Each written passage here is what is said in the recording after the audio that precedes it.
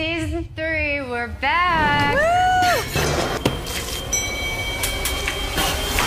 I'm back and I'm blonde. Hey guys, it's Selena. I have learned so much about cooking the past two seasons, but I'm realizing I have only scratched the surface. So I am continuing my lessons with the help of my friends.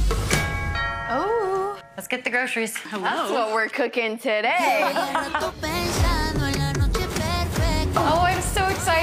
on my show. Thank you.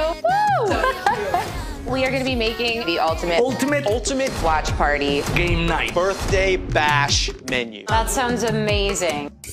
I'm not great with knives. Just gonna throw it out there. Ah.